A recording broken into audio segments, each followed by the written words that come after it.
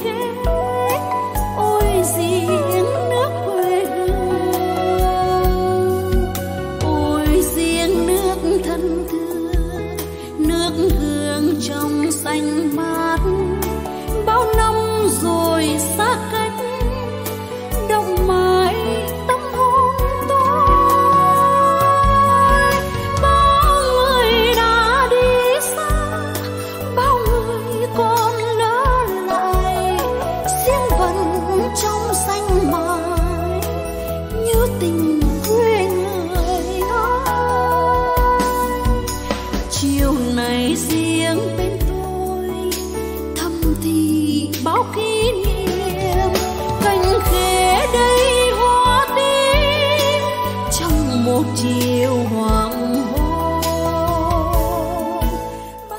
Từ xa xưa, Làng quê Việt có biết bao hình ảnh cuộc sống tưởng như rất thực tình, nhưng lại chứa đựng những giá trị tinh thần lớn lao như một biểu tượng về hồn quê.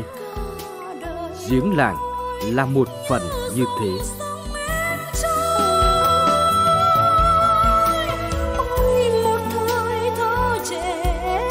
Cùng với cây đa, bến nước, sân đỉnh, giếng nước trở thành vật thể định hình khi nói về làng quê nông thôn Việt Nam. Với ý nghĩa văn hóa đặc biệt của mình, giếng làng là một trong những thiết chế văn hóa làng xã lâu đời cần được gìn giữ. Hiệp Hòa, nơi còn lưu giữ những lăng đá vừa uy linh vừa độc đáo. Đá ở đây là vẻ đẹp từ lịch sử, vẻ đẹp từ những văn thần võ tướng vì dân vì nước. Chính từ cái đẹp đó, nhiều người vẫn thường gọi nơi này là miền hoa đá. Không chỉ có hệ thống lăng đá, miền hoa đá còn cho thấy nẻo hồn quê từ những giếng đá. Về thôn Cẩm Trang, xã Mai Trung, huyện Hiệp Hòa, nhiều người không khỏi bất ngờ bởi những điều thú vị ở nơi này. Một ngôi đền thờ Hoàng Hoa Thám, thủ lĩnh khởi nghĩa nông dân yên thế. Cạnh đền có một ngôi mộ vô chủ, mà theo người dân có cơ sở rằng ngôi mộ này có thể là nơi an nghỉ của Hoàng Hoa Thám. Ở nơi này có nhiều dấu tích cùng địa danh liên quan đến khởi nghĩa yên thế như Chuông Yên Thế hoặc Gò Chanh, còn gọi là Gò Cai Chanh, một vị thủ lĩnh dưới trướng Hoàng Hoa Thám. Vì thế người dân tin rằng Hoàng Hoa Thám đã từng sống ở đây cho đến lúc thác và đặt tên cho những địa danh đó.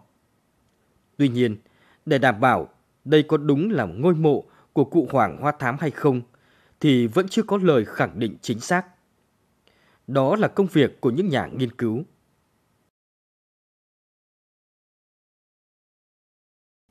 Có một điều thú vị, ngôi đền này cũng gắn với một chiếc giếng đá hàng trăm năm của thôn Cẩm Trang. Giếng này không chỉ là nơi sinh hoạt của cộng đồng dân cư mà còn gắn với vấn đề tâm linh của dân làng.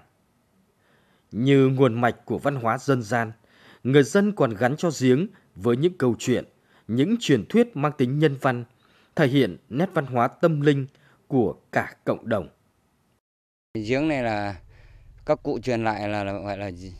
ngày xưa truyền lại gọi là cái chuông của ông ăn mày chuyên môn tắm ở đây thế nên sau thì qua quá trình một thời gian thì à, ờ, các à, anh chị về bên đoàn làm từ thiện và đây cũng đã phát hiện ra là có một cái giếng cổ.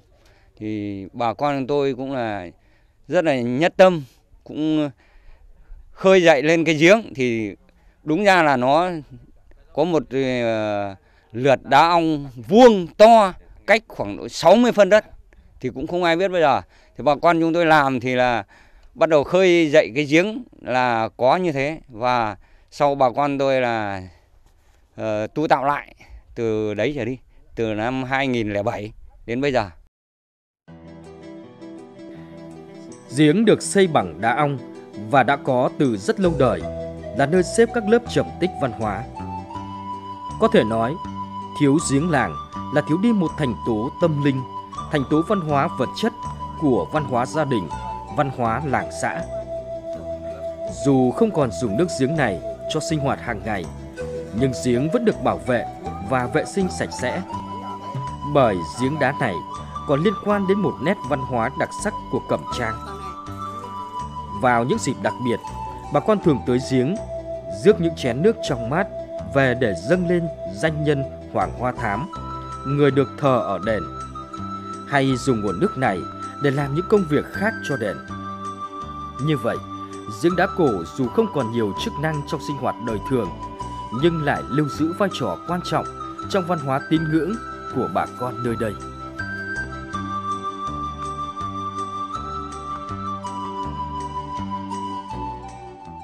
được các nhà tài trợ sẽ cho tiền như vậy là cho khoảng 25 triệu để tập trung tất cả Ờ, tôn tạo để khơi lại cái giếng cổ này thành cái giếng để dùng cho sinh hoạt cho tất cả uh, các cháu hay là các uh, gia đình. Khi ở ngoài đông này rửa chân rửa tay khi là làm việc thì là lên đây rửa chân rửa tay.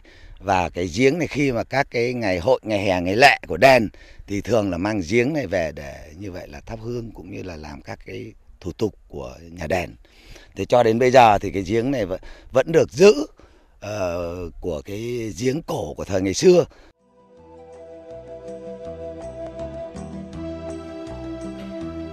Ở Hiệp Hòa có rất nhiều giếng đá.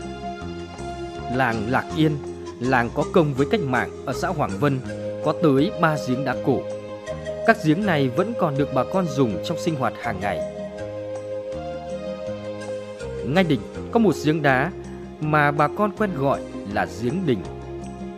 Giếng được xây bằng đá ong, miệng giếng đã được tu sửa bằng xi măng. Giếng đá này được coi là nguồn tụ thủy, tụ phúc của cả làng. Dẫu không còn là nguồn cấp nước dùng cho dân chúng, nhưng làng vẫn giữ gìn nước giếng sạch sẽ cây đa, bến nước, sân đỉnh. Cảnh quê Lạc Yên gợi nhớ về thời tuổi thơ in sâu trong tiềm thức của mỗi người, nhất là những người xa quê.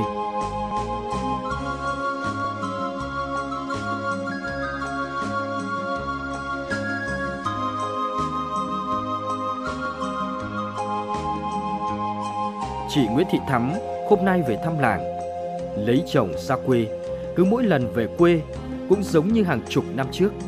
Chị lại trở về bên luống rau, giếng nước như tìm về nẻo hồn quê mình.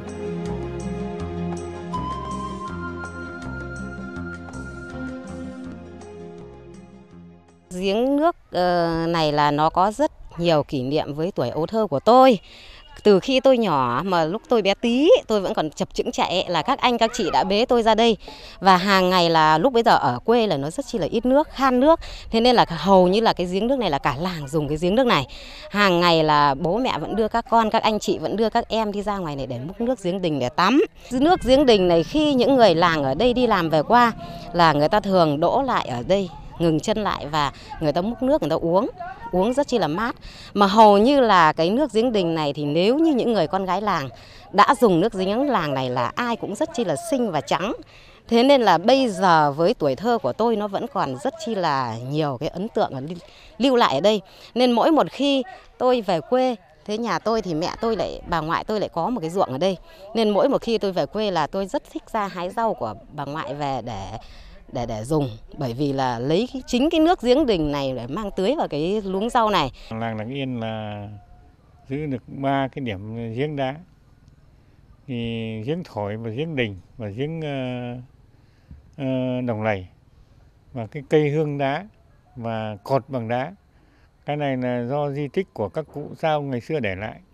Thế thì anh em chúng tôi cố gắng là gìn giữ những cái uh, quy vật quý báu đó để di tích của cha ông để lại ngày xưa nên là truyền lại cho anh em chúng tôi và chúng tôi lại tiếp truyền cho đời sau phải phải gìn giữ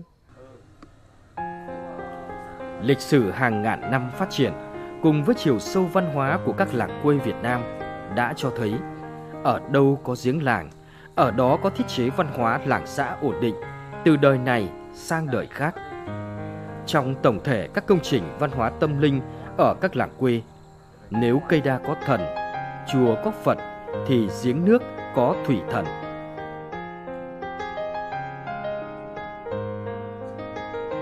Giếng nước tượng trưng cho sự dồi dào, cho sức sống của làng quê. Giếng thường được đào ở đầu làng trong một không gian đủ rộng, nơi người dân có thể đến lấy nước cho sinh hoạt hoặc ghé lại sau buổi làm đồng rồi cùng ngồi trò chuyện, tâm sự. Giếng thổi ở xóm Hè, xã Hoàng Vân là một trong những giếng có đầy đủ những tiêu chí như thế. Vị trí giếng rất giống với giếng đình, đó là giáp dân gần ruộng. Có lẽ khi làm giếng, người xưa đã tính toán cho tiện bề sinh hoạt và tưới tắm cho cây trồng. Trong tâm thức người dân nơi đây, giếng đá này như những tấm gương soi chứa đựng những ký ức. Đã 74 tuổi, từ bé đến giờ, cuộc sống của bà Nguyễn Thị Đào gắn bó với giếng thổi. Với bà, giếng này thân quen, gần gũi và linh thiêng lắm. Nó là báu vật của làng, là hình bóng thân thương cùng với cây đa sân đình. Đó là nơi tình yêu bắt đầu, là nơi trai gái hẹn hò, chứng nhân của bao cặp vợ chồng đã từng thể non hẹn biển bên giếng này.